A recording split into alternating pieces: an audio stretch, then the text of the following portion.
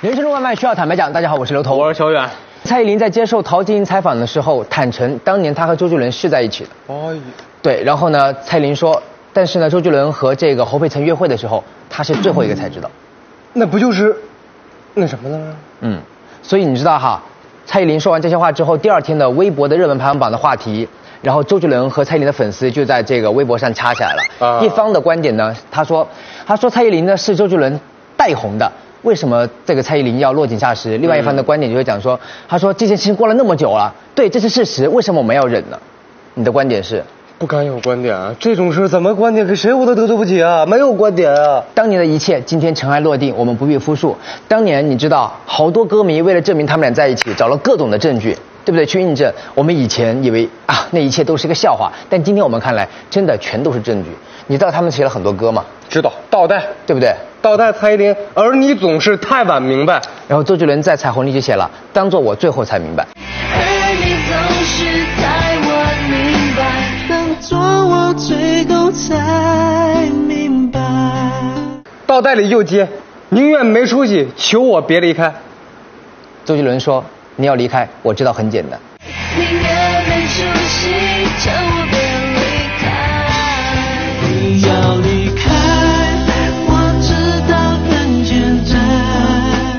而且他们俩一定都去过同一个地方旅行。嗯，蔡依林布拉格广场嘛，我站在布拉格黄昏的广场上，在许愿池投下希望，白鸽背对着羊。嗯，那周杰伦呢，在说好的幸福当中有写，他说：“我想起喷泉般的白鸽，甜蜜散落了。”我就站在布拉格。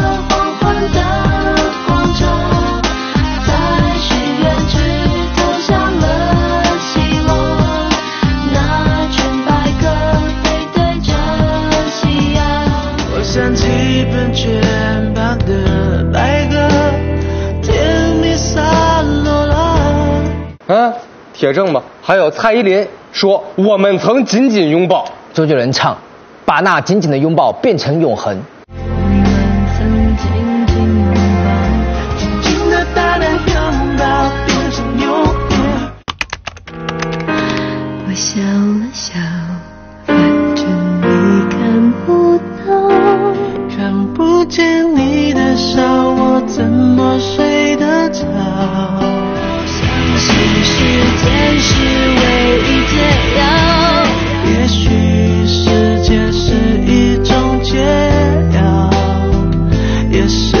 现在正服下的毒药用皮包里遮住我们的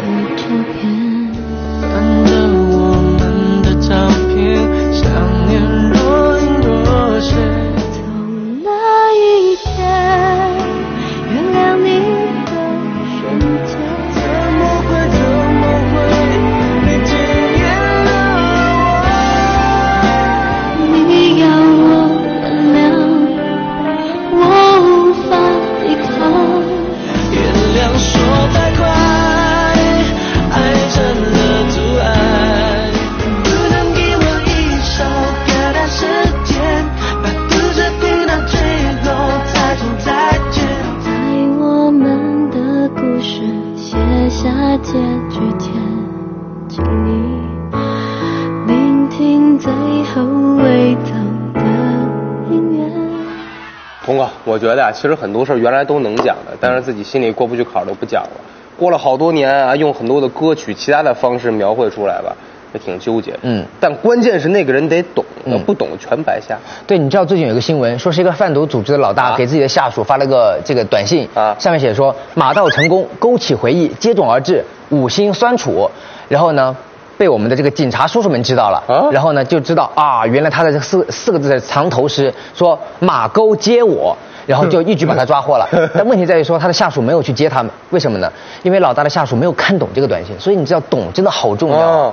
但今天其实我们要讲蔡依林和周杰伦的事情，只想说一句话，嗯，确实在爱情里头是没有对错，只有合适和不合适。但是也想说，其实啊，很多时候让我们难过的事情，总有一天我们会笑着说出来。明天见。